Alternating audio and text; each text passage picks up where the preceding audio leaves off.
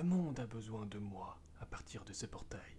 Je suis le seul à pouvoir les ouvrir. Je suis le futur chevalier qui va restaurer l'équilibre. Je suis... Moche La création du personnage est assez simple.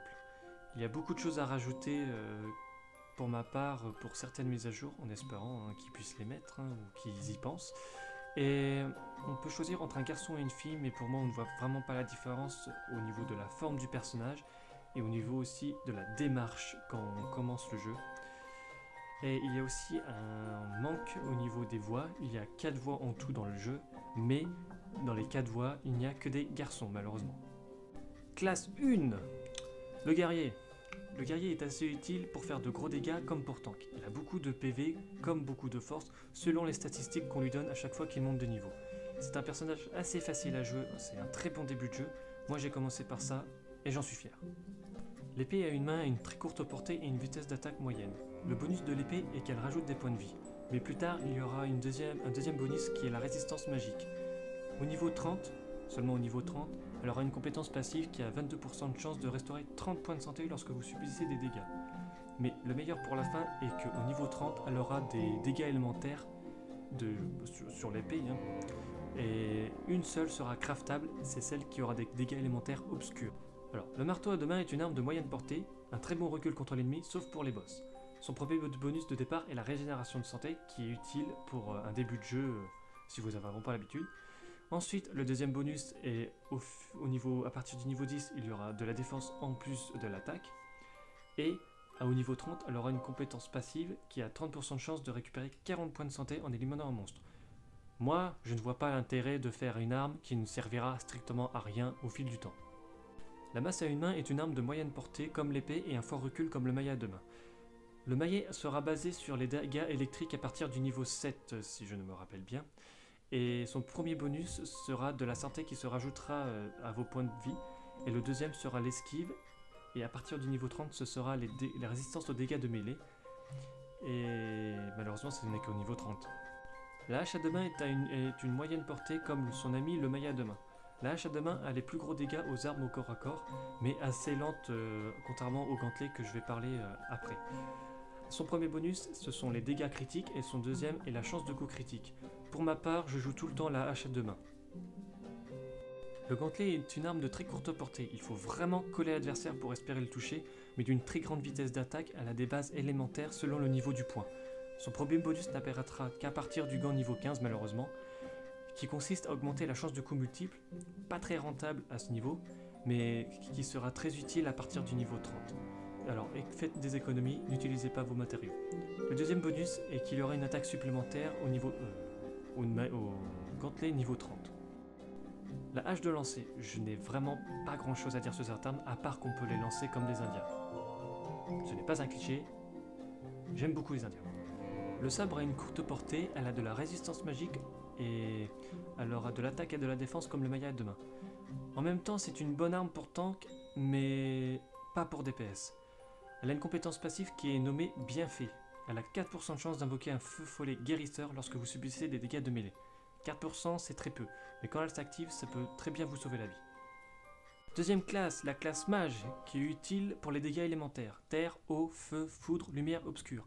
Mais au niveau de l'équipement, il faudra attendre le niveau 16-21 pour commencer à faire de bons dégâts. Les armes les plus utiles du mage sont les baguettes et les bâtons. Toutes ces attaques sont à distance. Bâton ou sceptre, c'est la description du jeu. Il est spécialisé dans plusieurs types de dégâts élémentaires, selon le niveau. Il attaque à distance, son premier bonus est la régénération de mana, le deuxième est la résistance magique. Mais à partir du niveau 30, il a une compétence passive qui a 12% de chance de guérir 42 points de mana quand vous subissez des dégâts. Je vous le déconseille, il vous faut des potions de mana seulement. La baguette a à peu près la même puissance que le bâton ou le sceptre selon la description euh, du jeu. Le choix est vite fait, c'est que le, baguette est beaucoup plus intéressante que le bâton ou n'importe quel type d'arme que le mage peut jouer. Son premier bonus, ce sont les dégâts critiques, puis le deuxième est la chance de coup critique. Elle n'aura aucune compétence passive, malheureusement. La seule arme mage qu'il faut attaquer au corps à corps. Je n'ai jamais vu ça. La faux. La faux est une arme au corps à corps de dégâts élémentaires de type poison. La petite feuille. Et du niveau 1 à 30, il n'y aura que ça comme dégâts élémentaires, ce que je trouve vraiment nul. Son premier bonus, ce sont les dégâts au corps à corps qui sont augmentés.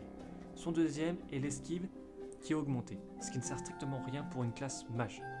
Et au niveau 30, elle aura une compétence passive qui a 4% de chance d'invoquer un feu follet d'attaque lorsque vous infligez des dégâts de mêlée. Que je trouve vraiment inutile, encore une fois. Le crâne est une arme magique à distance qui est seulement récupérable dans les coffres, les monstres et les boss. Il y a en tout 3 crânes, feu, foudre et obscur. Il y a de la défense comme de l'attaque, ce qui est utile si vous n'avez pas beaucoup de PV pour votre mage, et je vous conseille fortement de craft seulement le crâne niveau 30 qui est récupérable sur le dernier boss euh, du jeu. Son premier bonus est qu'il peut saigner l'ennemi de 10%. Le deuxième bonus est la chance de saigner de 6%. Contrairement aux deux autres crânes, le niveau 30 a des compétences bonus, pas comme les deux autres. Les orbes ne sont récupérables qu'en parchemin sur certains boss. L'avantage est qu'il n'y a pas de restriction de niveau ni de restriction de classe pour l'utiliser. Le seul inconvénient est qu'elle demande beaucoup de mana, mais aussi elle est très utile car elle peut casser des blocs. Troisième classe, le rôdeur. C'est une classe qui attaque à distance et qui est assez longue d'utiliser car elle a très peu de PV, très peu d'agilité et très peu d'esquive. C'est une classe vraiment dure à jouer dès le début du jeu. Son équipement ne sera utile qu'à partir du niveau 16-21 comme le mage, mais c'est une très bonne classe. L'arbalète est basée sur les dégâts élémentaires. Elle a la même vitesse d'attaque que l'arc, elle n'a qu'un seul bonus dans tout le jeu. Son bonus est l'esquive qui augmente selon le niveau de l'arbalète. Je vous la déconseille fortement, à part si vous aimez tirer des flèches de glace, de feu et de lumière, comme Ocarina of Time ou Majora Mask, à ceux qui connaissent. L'arc a un assez bon critique à partir du niveau 5, et plus tard, un arc niveau 30 sera en mesure de tirer 3 flèches à la fois, ce qui est vraiment utile, dont les bonus importants en dégâts critiques et en chance de coup critique. Je ne vais pas m'attarder sur cette arme, qui est le lance-pierre. Le lance-pierre est utile seulement en cas de détresse, hein, s'il vous manque des PV, elle a de la régénération de vie. Et si vous n'avez pas beaucoup de PV, elle peut vous rajouter des PV selon le niveau du lance-pierre. Le couteau est utile pour sa forte rapidité aux dégâts au corps à corps. Mais elle a très peu de dégâts, il faut bien un juste milieu quand même. Si vous aimez faire du corps à corps avec un rôdeur, autant mettre tout en force, mais vous risquez de perdre assez facilement euh, contre des ennemis. Son bonus de base est l'esquive et un peu plus tard la vitesse de déplacement. Les couteaux de lancer est utile à distance quand vous oubliez vos armes dans votre coffre par exemple. Le vécu, hein, je, dois vous l'avouer, pas qu'une fois.